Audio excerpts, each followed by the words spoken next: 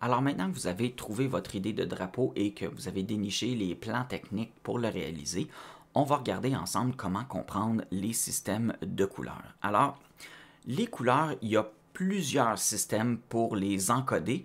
On va en regarder deux. Et si euh, les couleurs que vous avez trouvées ne respectent pas euh, ni un ni l'autre de ces codes-là, une petite recherche sur Google vous permettra de convertir le code que vous avez en soit un code RVB ou un code euh, hexadécimal.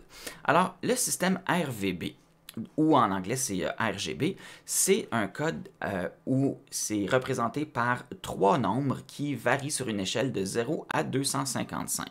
Donc ces couleurs-là, dans le fond, c'est la quantité de rouge, de vert et de bleu qui sont mélangés ensemble pour produire votre couleur. Alors si je m'en vais dans Inkscape, ici, et que je trace un, un rectangle ici comme ça, et là je vais aller dans mon outil de remplissage ici, Là, je vois que mon code RVB, il est ici.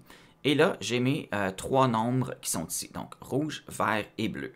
Et si je change ici la quantité, si je veux rajouter un peu de rouge dans, euh, ma couleur, ben, on va euh, plus s'approcher du mauve ici comme ça. Je pourrais rajouter un peu de vert ici comme ça.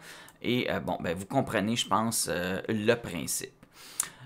et ce n'est pas la seule manière d'encoder des couleurs. On a aussi un système RVBA ici. Donc, mon code hexadécimal, il est ici. Et lui, il tient, il tient compte aussi du A ici. Peut-être qu'il y en a qui se demandaient c'est quoi. Le A, c'est euh, le alpha. Et ça, ça représente la quantité de transparence euh, présente. Donc, euh, un alpha de 0, ben, ça donne une figure qui est complètement transparente.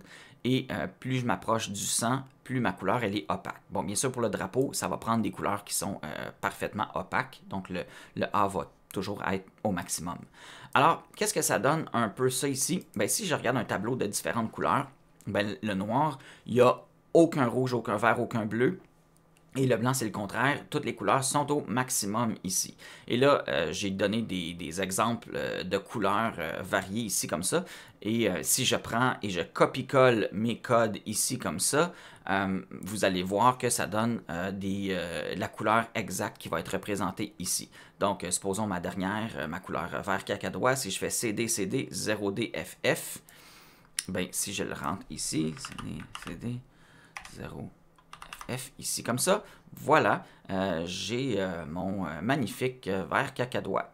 ça, je pense pas que c'est une couleur officielle pour un pays, mais ça vous donne une, idée. Alors maintenant, si je traduis ça dans mon projet de drapeau, ben, si je m'en vais dans le drapeau de la France ici, ben, j'ai mon bleu, mon blanc, mon rouge ici qui est là. Alors si je veux trouver mon, bleu officiel de France, ben, je peux aller juste copier-coller mon code HTML ici. C'est la même chose que le, le code hexadécimal. Donc, CTRL-C ici, je vais aller dans Inkscape ici et je vais aller coller mon code.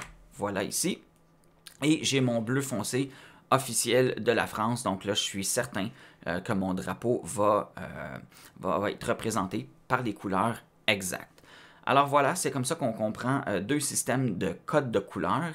Et là, il va nous rester à tracer notre drapeau. C'est ce qu'on va voir dans la prochaine capsule.